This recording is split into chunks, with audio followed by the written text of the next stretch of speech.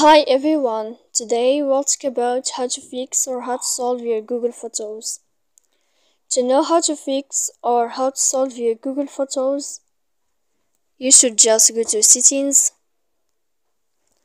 After that, you click apps, default apps app settings. Here we'll enter to the window of Google Photos and we click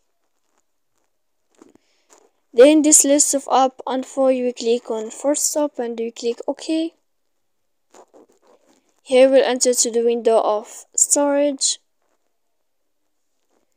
Then we click clear cache. Here we go to click on airplane mode.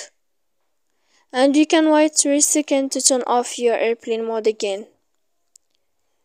So please don't forget to support us by like and uh, subscribe. See you next time in another video.